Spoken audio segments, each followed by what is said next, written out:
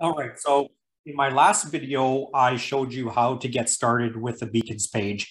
Now, if you missed that video, you can certainly click on the link in the description of this video is where I'm going to have the link to that video. So my name is Tim Lekach, and I'm a big fan of Beacons page, and I'm here to help you set up your Beacons page because I believe that the Beacons page is the most powerful link in bio tool that you can uh, find in the marketplace today. So I'm going to get right down to it. I'm going to show you behind the scenes of my beacons page specifically. So as you recall, if you watched the first video, I created Kitty Cat Cool uh, as just a way to show you how to sign up. But now that we're officially inside the beacons page, I'm just going to touch on the three different tabs that are available to you. And then in more videos, I'm going to really dive deep on how to put everything together and, and how you can optimize your beacons page. So if you've been looking for a link in bio tool and you got a lot of choices out there, there's there's an endless amounts of choices out there, but what I want to do is I want to show you how beacon page beacons page works because after trying several different link in bio uh, tools, I've come up with this concept or this idea that Beacons page is very powerful. The, the options that it gives you, the benefits that you're going to see when you can amalgamate all of your links in one spot is is um, is truly valuable. So I'm a big fan of Beacons page, and I'm hoping that the information I'm sharing with you on this channel helps you. So again, let's dive right into it. So again, I started my Beacons page probably as of recording this video, probably two months ago uh, as of recording this video. So I've had it for a little bit now. I've had a chance to, uh, you know, uh, put it together, uh, try different links, and I've gone on to set up uh, beacons pages for for influencer pages and to people uh, specifically on TikTok. So if you happen to be on TikTok and you're want to grow your brand on TikTok, I find that uh, Beacons page is a, is a great tool to drive traffic to your uh, link in your bio. So I know the term link in bio sometimes can be thrown around is not is not very serious, but um, after you've uh, watched all my videos, you'll you'll get to notice that having a link in your bio is very important. It's a very important part of your branding, and it allows you to showcase all the projects that you're involved in. So whether you offer a product or a service or um, you make things or you craft things or you have an Etsy store or you have uh, different profiles on every social media platform with Beacons page, you can amalgamate on that and you can build it uh, beautifully through here. So now that we're on the inside, I'm just going to show you how there's three tabs here. My page, appearance and analytics. Okay. So where you're going to spend most of your time is, is on my page. Okay. Out of the three, um, you're going to spend most of your time on my page. Now, the most valuable part of Beacon's page is the analytics. Now, I'm a big fan of analytics. I always want to see what's working, what's not working. So the analytics uh, tool allows you to see what people are clicking on, if there are links in your bio that nobody's clicking on um, and, and how that works. So I'm going to dive deep into that here on this video as well. So let's start off with my page. So my page is great. So all of these tabs here are movable. Okay. So what you can do with them is you can actually move them around and put them in any order. What I like about it is that uh, Beacons page gives you like a live version of your Beacons page as you're working on it. So you get to see as you're adjusting your beacons page, what it actually looks like to the, your audience, right? So that's very important. Now, myself, I always go and actually double check the beacons page just to see aesthetically if it looks like something that catches my eye. Because typically, if it catches my eye, it's going to catch the attention of my audience. So I put it together based on you know where I want people to to land on my page. So I simply put the most uh, important links towards the top, basically. So what I essentially do is that if I'm promoting myself, right, I'm going to put the the, the the options or the products and services that I want people to take advantage of first. Okay, now this is different than doing an influencer one. So An influencer one means that if you're managing an influencer account, uh, like a meme account, a beauty account, or something niche related, um, and you create a page out of that, um, you know, you'll want to put some of the links maybe towards the bottom of the page. This allows people to actually have to, you know, go and search, especially if you're running a sale or you're running something as a one-time offer. Strategy behind it is to have people land on your uh, link in your bio and have to scroll down to the bottom. And what they do as they scroll down past everything else you have to offer to get to that link that they're looking for, they get to see subconsciously what else you have to offer. So I'll get into that strategy here shortly, but on a personal uh, beacons page, uh, what I typically do is I I offer or I show the offer that I want to advertise the most. So as you can see here, as recording this, this is October. And so I have on here, and you can animate um, all these buttons. So right now I have, I'll create your beacons page October special. So that's the one I want to highlight for this month. This is a service that I want to highlight because uh, of this channel, because I'm helping you. Um, if you don't have time to do it, shameless plug. If you don't have the time to put this all together, I can certainly put it together for you and I'll get the foundation in place for you and you can customize it after the fact. But the foundation and the optics of it and the strategy behind it are very key. And so I like putting it together because I like really showcasing everything you have to offer. So if you happen to be on Instagram, if you happen to be on Twitter, if you happen to be on TikTok or any other platform like YouTube, I can certainly amalgamate it all and make it look really good for you. Um, hopefully to your liking, and then you're you're able to customize it after that um, based on these videos that I show you. So the My Page tab allows you to, to take advantage of all the features that Beacon's page offers. So for example, right now I have a header. So what does the header consist of? Well, the header consists of the picture, okay? So now as you can see here, I can have my picture in a square version, or I can have it congruent with every other social media platform and have it in a circle, okay? Now, the other thing is that uh, you are given the option to do solid border or none at all. Now, when I put together Beacon's page for people, typically I don't put a border around it because much like having a story um, on different social media platforms, it just the you're kind of in a habit of clicking on people's stories all the time. Well, Beacon's page doesn't offer a story. So when I put that ring around it, it may prompt people to actually click on it and you don't want that because it doesn't do anything. So you don't want people's attention to focus on trying to click on something that it that doesn't work. So i go without a border because like i said it doesn't mirror having something in your story and it doesn't prompt somebody uh, to click on it when there's nothing that happens. You'd rather have them click on something that takes them somewhere or to a product or offer or add to your email list. So you don't want them clicking on anything that doesn't work because subconsciously, if they click on it, it's a waste of a click and they get frustrated and they just skip on because they either think it doesn't work or your beacons page isn't uh, together. So I would personally recommend going with no border. And that's how I build the beacons pages that I do. So as you can see here, you have the, the header going back to it.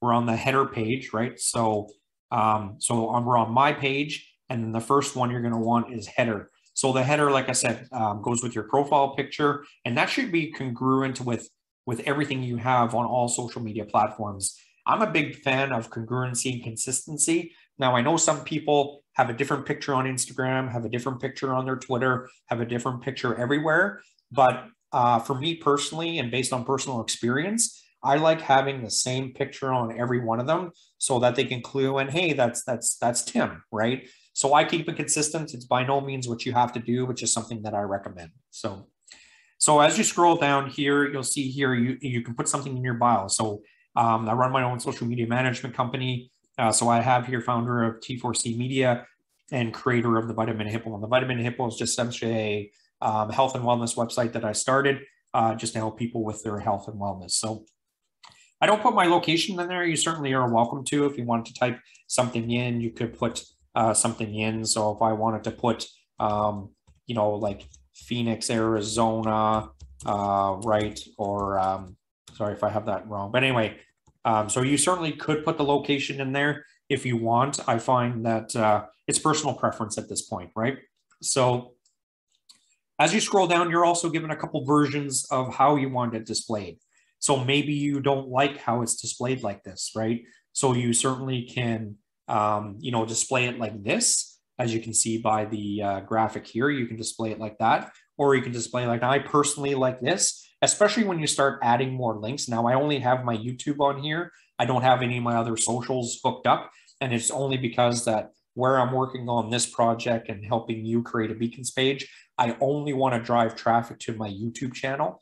Um, so as you click, as people click on that and want to learn more about how to create a beacons page, I only want them to go watch my videos, subscribe to my channel at this point. I don't want them clicking on, um, you know, different things to take them because primarily right now for marketing, my focus is growing my YouTube channel. So that would be the only reason why that I don't have all my socials up there. But uh, if you're a creator, an influencer, an entrepreneur, and you're present on all platforms, and you have something to offer on all platforms, I would say uh, link them all up. But just for me specifically, um, based on what I have on the go right now, I only have my YouTube filled up, so uh, connected. So here's where you can link up all of your social media, right? So all it takes is a username. Sometimes the username, um, depending on what you have, it does work. Um, but sometimes I just put the link in there as well. So for example, if I went to um, my TikTok, for example, right? So if I went to my own TikTok and I have my link, view profile, and what you want to do is you want to copy and paste, and then you put that in there. That works as well, right? So then it saves, and then when you click on that, it'll take you right to the TikTok. Okay, so um, you know you can do it by username, or you can do it by by actually copying and pasting the link. Okay, so even if I put my username in there, um, it would still link up. So I just uh, either or is fine. So I'm going to take that out there for now. Now, see these delete buttons? I wouldn't delete them. I would just keep them there because if you want to change, like for me, my strategy right now is to drive traffic to my YouTube channel. Now, um, as I build this YouTube channel and it starts to gain momentum and I don't need my link in my bio to drive traffic anymore, I may add my other socials on there, but where I'm primarily trying to, um, you know, drive traffic to my YouTube channel, I'm just going to keep my YouTube channel there for now. So don't delete those uh, because you'll want them maybe for a later date if you're not using them all. Um, you can certainly add more. They have lots of different options. So just to let you know, um, they basically have Twitch, Snapchat, LinkedIn, Pinterest, Reddit, like all of these different social media uh, platforms you can uh, put on there, Substack, Medium, so on and so forth. So you can you can just add and add and add on there, and um, it's amazing. So um, the, the, the level of um, connection you can have all in one place is phenomenal. So, for example, I write on Medium. Now, I do have my Medium uh, account on here. Um, so, what I did was is I have my um, my my my website health and health and wellness sorry website on the publication, and I just have it here clicking on Medium, so it'll take people there. I don't have it linked up to my bio because again, I don't. I just want to drive traffic to my YouTube specifically right now right? So as you can see, it's very, very well versed. And this is just one component. This is one fraction of a component that's available, right? So this is just the header tab, right? So, um, so where do these tabs come from? Okay, so you see here, you know, header is outlined in black, it's bolded, text is, requests isn't, right? Links, email, video isn't, Twitter isn't, TikTok isn't. So what determines whether they're highlighted or not? Well, you go down here, right? And you just toggle this right here, right? So if you don't want it to show, you take it out, okay? And that instantly turns this, that color, okay? So where I want it activated, you keep it activated, okay?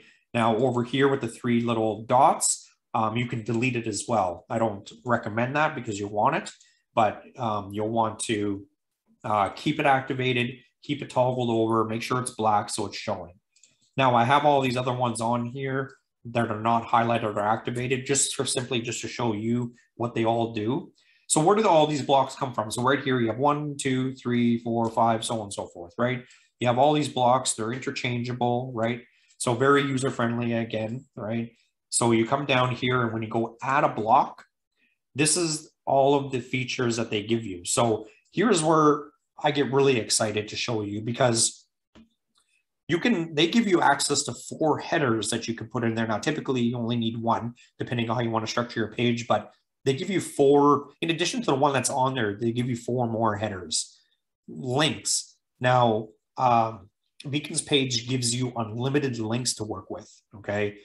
They give you unlimited links, so you can put unlimited links on there. Now, there is a fine line between putting too many links on there and maybe not enough on there. You want my advice towards this is that if you are part of a lot of different things, or maybe you're an affiliate, and I'll certainly explore the world of affiliate marketing um, as this channel grows. But for the purpose of this video, I'm just showing you the tabs. Um, you got to be careful with how many links you put in there because when I build Beacons pages for people, if if you click on the Beacons page and they don't have enough content to really make their Beacons page look like it's alive and you have a lot to offer, what I do is I, I do make it look like that so that it looks like it's the place to be. It looks like to your audience that you, you want to check that frequently because there's things that might change, there's offers they should take advantage of, so on and so forth. But you don't want too many on there. Like my page specifically, I may have one or two more links on there than I should um, that I would normally go with.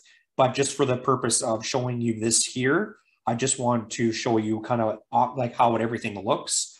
So, but typically you want to stay between five and seven uh, different tabs on there. So like I said, you do get unlimited, but there is a fine line between not having enough and then having too much. So going back to what they give you. So when they give you a link block, that means they give you a link block where you can put um, a lot of links in there. So they give you a link block, but then what you can do is you can split it up. So you can put one link block, have like, you know, three links in there, then you can have a picture and then another link block with another three links, right? So they give you five altogether link blocks you can work with. The next one they give you is text. So that just means that you can write a text. Another thing I use this for is that if you have any um, links you want to drive traffic to, you can put the URL in there and you can have people click on it. Uh, so that's what I use that for. The spacer is great, just aesthetically, if you want it to look uh, even. Sometimes when it puts it in there, it's not as even. So you can use up to five spacers. The email and MSS means just means that, or SMS just means that people can uh, opt in for their email or text messaging as well. So if, um, I, I, you know, I, in most cases, I don't typically recommend recommend asking for people's phone numbers and things like that. But the email, as far as if you want to collect emails, if you want to build a list uh, and you want to mass email people, I do have an application for that as well. So I can go over that with you, but um, that's great as well. So you can add that in there. Images are great. So if you um, if you want to put images in there from, uh, you want to pull images from your products, if you want to pull images from your Instagram, wherever you have static images, they give you up to five that you can use on here, which is great. Another added benefit is um, the um, being able to put your YouTube link in there. So this is super valuable. So once you click on this here, right, it's always going to add it to the bottom of your page. As you see here, when I just clicked on it, it's going to add the placeholder at the bottom. So if I wanted to take um, like this video after I'm done creating it and put it in there, all I would do is copy the link and put it in there. And then what it's going to do, and this is great, is that uh, your audience can actually watch the video in this feed. It doesn't bounce them out or take them anywhere. It keeps them on this page so that they can watch your video. Um, let's say if you had like a 20 minute video or a 10 minute instructional video, it doesn't take them like out to YouTube. Um, it will recommend, after the video is done, it will recommend more of your other videos. But the point is, is that it keeps them on your beacons page so that after learning or hearing what you have to say, if you're on YouTube or taking in your content, they can scroll up and then take advantage of any of the offers or products or services that you offer.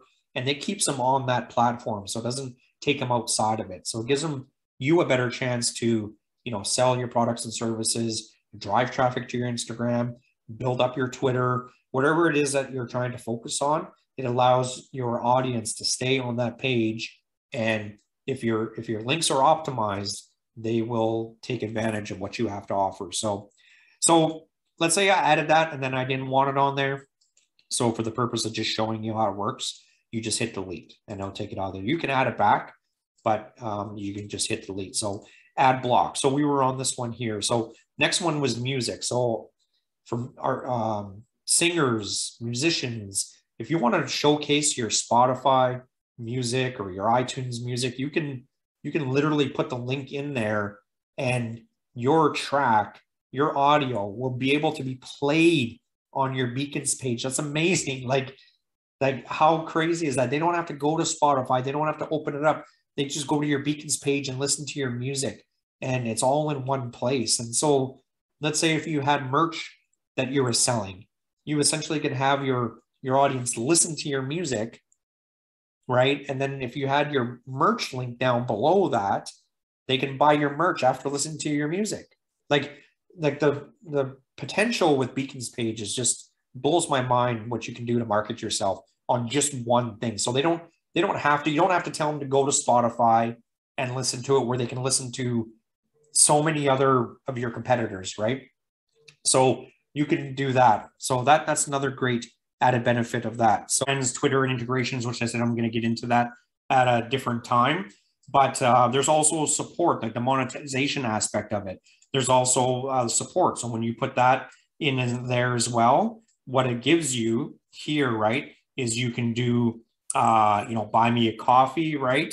So you can put that, and then you can actually link up your Stripe account, and you can have um, the the button here now I have this, I have my own button here um, because that um, takes me to the actual buy me a coffee page. Now this one here is operated through your um, beacons page so that people can actually just uh, do it through your page and not take it to a different um, site at all. But um, so you can you can change that um, card or you can do button, right? So, um, but yeah, no, it's this is like when people can um, support you, so you can have like support me, support my next big project, buy me a coffee, right?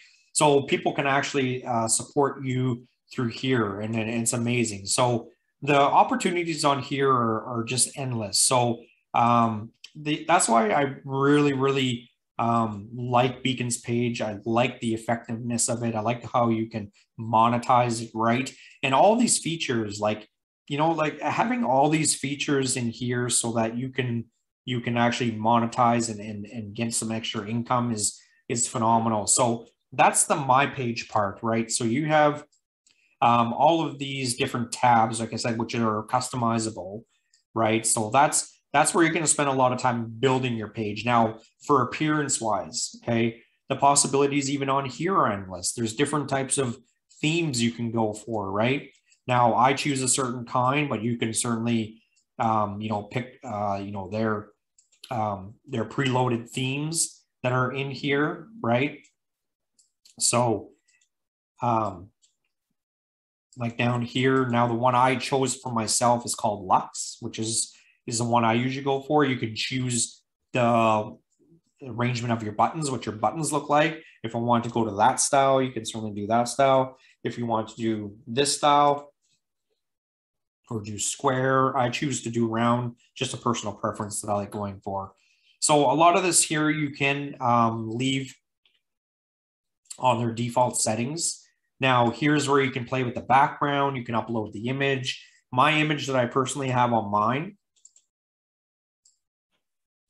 is, um, you know, something I really like doing is traveling, right? So on here, I have my background picture is is of uh, the ocean, right? So so you certainly can do anything, um, put any picture behind there that is aesthetically pleasing, right? You can put a picture of your brand. Of, if you sell a product or service, you you holding your product or service, right? So, or you can use their default tabs as well. So you can go in and just use their presets as well. So another thing that you can do is you can choose the different types of um, backgrounds, whether it be dark, light, or none, right? And then you have the page colors as well. So uh, the fonts, I chose to use what's called Yoast for my fonts, but you certainly can change them to to whatever, you know, maybe maybe you're or familiar with how to do fonts, but I choose to use um, right? So so that's where you can actually aesthetically put your beacons page together. You can you can do it on here and you can you can really personalize it, really get get there and personalize it. Now the analytics tool. So like I was saying at the beginning of the video, um, you're going to spend a lot of time on my page building your page. But the most important part is going to be the analytics so you can actually see what people are clicking on. And if you had your beacons page up and running and you go to the analytics tool and you notice that you know one of your links isn't getting any clicks at all then you know okay well maybe my audience is not um, into that. So then what you could do is replace it with another link that might work or it could be the wording that you have on the button itself. Um, what you want to do with a lot of these buttons is create urgency so you'll want to use uh, language like you know um, end soon offers limited, limited quantity, things of that nature. Um, if that's the case, like obviously don't um, say it if you don't mean it, but um, you know the the reason why people might not be clicking on that link is it just it's not inviting them to click on it specifically. So in analytics tool, you want to spend some um, time on there just to um, get familiar with you know what people are clicking on once you have it up and running for quite some time. So on an influencer page that I run, I have several links in there to a different affiliate products, and it tells me, you know, which ones that people are clicking on. If they're clicking on one over another, I may delete the one that they're not clicking on, or I may re- replace it with something very similar to the one they are clicking on, right? So, so those are the three tabs. So you have my page, appearance, in analytics. So um, hopefully that helps explain a little bit more about the tabs. Um, if you missed the first video, like I said, I'm going to have the link um, in the description to my very first video of how to get started, how to even get to this point. So if you did tune in this long and follow along, um, that's great. Thank you for doing. Consider subscribing um, because I will be releasing more videos and getting more in depth on um, Beacons page specifically. So consider subscribing, and uh, I will see you at the uh, next video.